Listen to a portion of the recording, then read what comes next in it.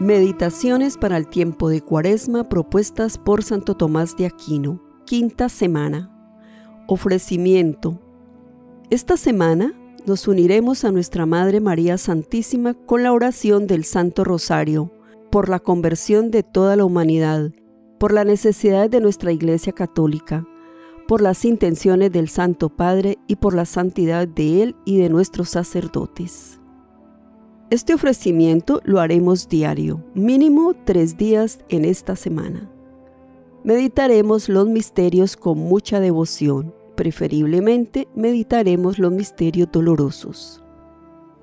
Un día a la semana invitaremos a alguien a rezar con nosotros y ofreceremos por las intenciones de esta persona. Meditación. La pasión de Cristo. En Juan 3, 14, 15 leemos, Como Moisés levantó la serpiente en el desierto, así también es necesario que sea levantado el Hijo del Hombre, para que todo aquel que crea en él no perezca, sino que tenga vida eterna. Tres cosas se han de considerar aquí. La primera es la figura de la pasión.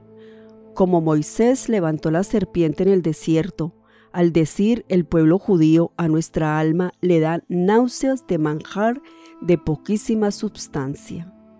El Señor envió serpientes para vengarse, después ordenó que se hiciese para remedio una serpiente de bronce que fue remedio contra las serpientes y figura de la pasión. Propio de la serpiente es tener veneno, mas la serpiente de bronce no tuvo veneno, sino que fue figura de la serpiente venenosa.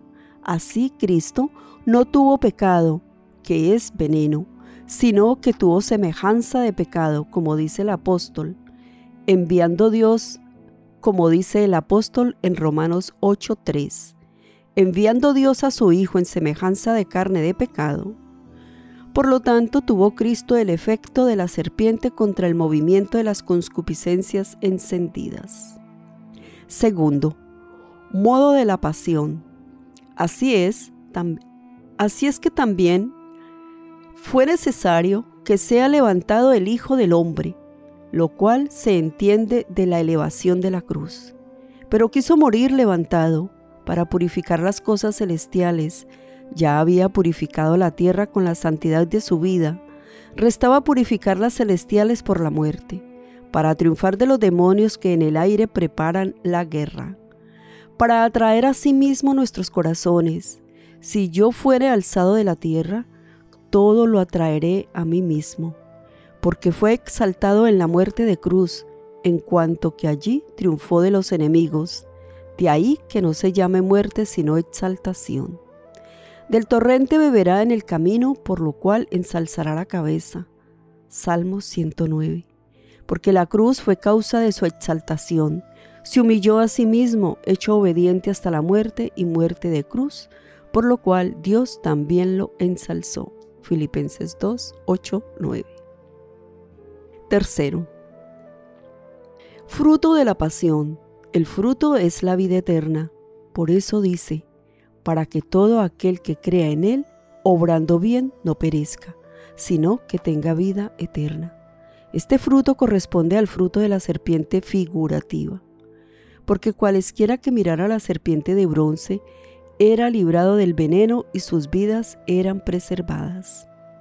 Contemplando al Hijo del Hombre exaltado, el que cree en Cristo crucificado, es librado del veneno y del pecado y es reservado para la vida eterna. Oremos.